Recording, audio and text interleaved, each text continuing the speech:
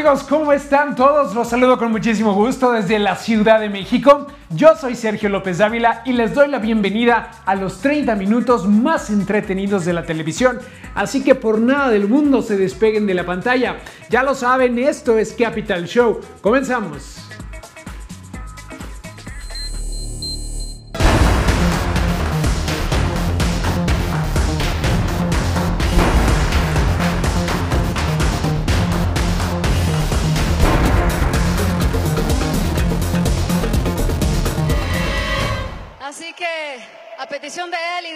Ustedes, la vamos a tocar esta noche. No sé cómo saldrá, porque casi no la hemos ensayado, pero va con mucho cariño.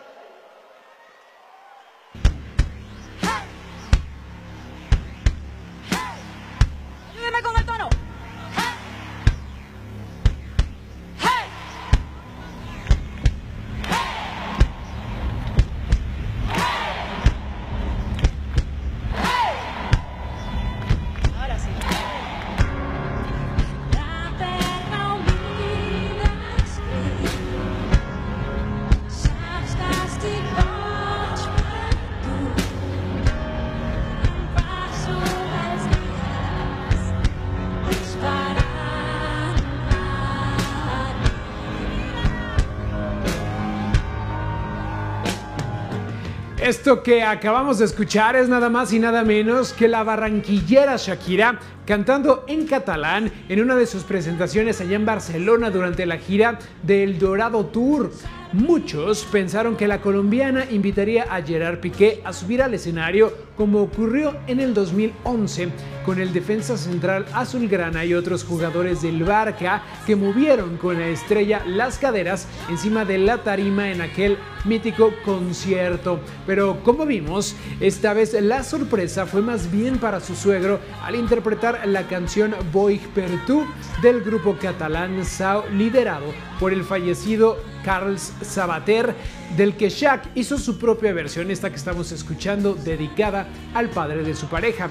Una, una pieza que es en catalán y que a muchos les molestó profundamente, y es que la catalanofobia, como ustedes saben, hoy en día está muy presente y tanto es así que algunos seguidores del territorio español le pidieron al artista que no volviera y es que incluso la amenazaron con boicotear sus actuaciones allá en España. Pero esta no es la primera vez que la colombiana involucra a su familia en conciertos, pues también durante este mismo tour musical Shakira recibió la visita de la abuela de su pareja, el futbolista Gerard Piqué, a uno de sus conciertos de la gira de este dorado World Tour, el primero al que asiste la señora de 94 años, así que vamos a ver cómo la recibieron.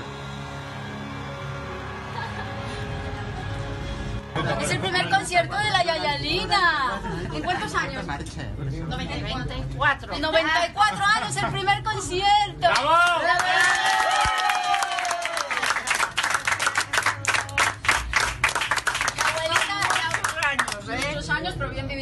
La abuelita de Gerard, la bisabuela de mis hijos. Mira. ¿Ah? ¡Qué maravilla! Por cierto, Shakira, una de las cantantes latinas más sobresalientes de la última década, conoció a Gerard Piqué, su actual pareja, durante el rodaje del video Waka Waka de la cantante para la Copa del Mundo de Sudáfrica 2010 y de ahí empezó su amistad y ahora son una familia con dos hijos. Pero Gerard Piqué, el delantero del Barcelona y de la selección española, no es la única estrella del fútbol que tiene a su lado a una espectacular y además talentosa mujer, pues existen otros jugadores famosos que gracias a su talento en la cancha pueden presumir de andar con espectaculares bellezas. Así que si les parece, vamos a conocer algunas de las parejas más hermosas de los cracks del balompié. Como sabemos, además de buenos atletas, algunos futbolistas son grandes estrellas del deporte. Gracias a esto, se han hecho poseedores de mucha fama a nivel mundial, y en algunos episodios de su vida privada podemos ver los lujos con los que viven, así como las celebridades de las que se rodean, medio de donde han nacido sus relaciones amorosas con las actrices y modelos más guapas. Una de ellas, sin duda, es Shakira, la más famosa de todas. La guapa colombiana es esposa de Gerard Piqué. Ellos se enamoraron en la filmación del video de Waka Waka, que fue la canción oficial del Mundial 2010. A pesar de que se dijo que tenían problemas en su relación, siguen juntos y son padres de dos niños. Bruna Marquezine es la novia de la estrella de la selección de Brasil y del Paris Saint-Germain, Neymar. Bruna es una actriz de teatro y cine y es una modelo muy conocida en Brasil. Ella y el jugador brasileño se conocieron hace cinco años. Antonella Rocuso es la esposa de quien es considerado uno de los mejores futbolistas del mundo, el argentino Lionel Messi. Su amor inició desde que eran niños, en Rosario, su ciudad natal. Después de tantos años juntos, han formado una hermosa familia. Y no podemos dejar de lado a la guapísima modelo Georgina Rodríguez. Esta escultural mujer es novia de Cristiano Ronaldo y el año pasado procrearon a su hija Martina. La modelo Carla Mora. Ella y el portero de la selección mexicana, Guillermo Ochoa, contrajeron matrimonio en Ibiza, España, después de casi seis años de noviazgo, y son padres de dos hijos. Y no podemos olvidar a la hermosa modelo mexicana Heidi Mitchell. Ella y Rafa Márquez son sin duda una de las parejas más sólidas a pesar de los problemas en los que se le ha envuelto al futbolista. Heidi siempre le demuestra su apoyo incondicional. Ellas son algunas de las guapas mujeres que son las compañeras de vida de tus futbolistas favoritos. Y ser una estrella de la música, un actor famoso y hasta un deportista de élite convierte a esas personalidades en celebridades que muchas veces pensaríamos que nacieron para triunfar y estar constantemente bajo los reflectores.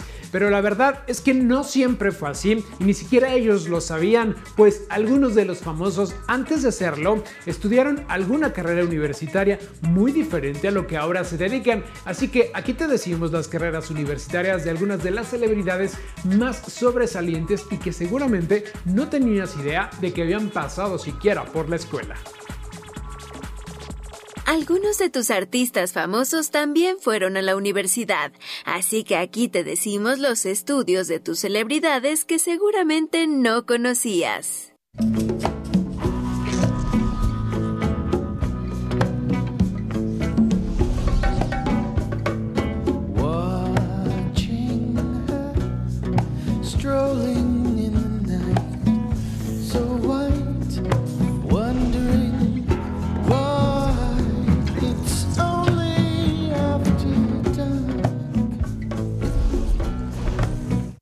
Es una de las escenas más memorables y sensuales de la veracruzana Salma Hayek al llegar a la meca del cine en la película From Dusk Till Dawn. Y aunque ahora es una de las mujeres más poderosas y famosas del mundo, antes de ser una actriz internacional y un gran ícono de estilo, Salma Hayek fue estudiante de la Universidad Iberoamericana de la Ciudad de México.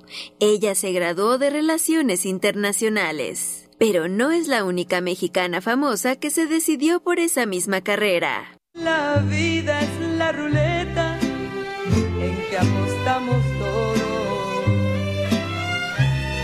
Y a ti te había tocado no más la de ganar.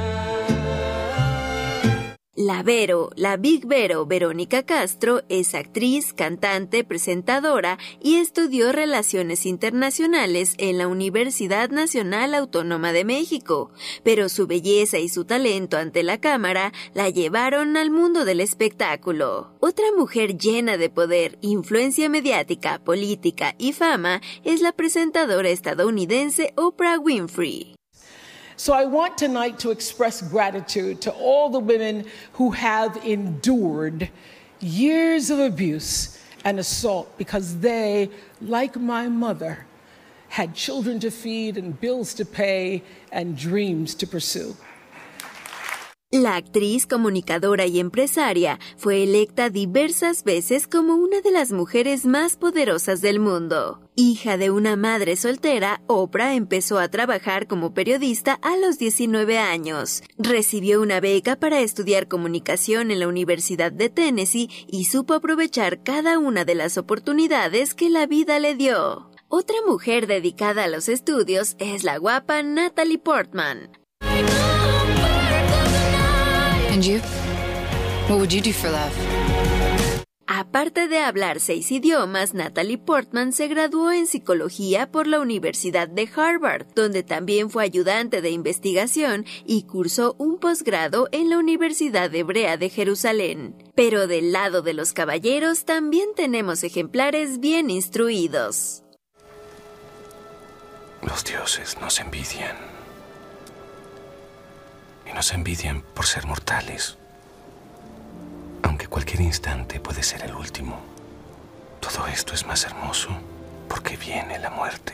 Brad Pitt estudió periodismo en la Universidad de Missouri. Enamorado de la comunicación y del cine, dejó la universidad dos semanas antes de recibir su certificado de licenciatura y decidió mudarse a Los Ángeles para entender cómo las películas eran producidas. Allá empezó a tomar clases de actuación y el final de la historia ya lo conoces, fama y una exitosa carrera. ¿Y qué decir de uno de los actores que personificó al superhéroe más oscuro y misterioso del mundo del cómic? Por supuesto que te creo.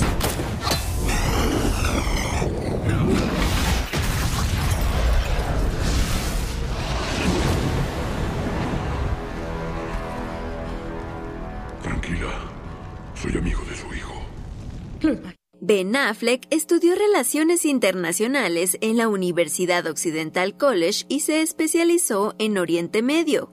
Años después, dirigió la película Argo que cuenta la historia de agentes de la CIA que rescataron diplomáticos estadounidenses durante una crisis en Irán. El trabajo fue reconocido con el Oscar a Mejor Película. Sexo. Cuando te pregunta qué signo eres, aunque no sepa nada de astrología. Mm, es porque quieres sexo. Quieres ser intelectual. ¿Adivinaste? Se trata de René Pérez, quien se hiciera famoso dentro del mundo del reggaetón con este éxito musical. ¿A poco no bailaste con esta canción? Los videos de Calle 13 y Residente suelen tener una identidad muy bien desarrollada, lo que puede ser explicado por los estudios universitarios de René Pérez. Él se graduó de arte por el Savannah College of Art and Design en Estados Unidos y realizó talleres de cine en España. Así que muy bien instruidas algunas de las estrellas y celebridades que vemos en los escenarios y también en la pantalla. Y ahí tienen Brad Pitt a dos semanas de terminar con sus estudios o más bien de recibir su título de periodismo. Decidió ir a Los Ángeles para empezar a aprender cómo se hacen las películas. Y bueno, pues le resultó. Nos vamos a ir un corte, pero señoras y señores, no se muevan de la pantalla porque regresamos con muchísima más entrevista y con el señor de los columpios.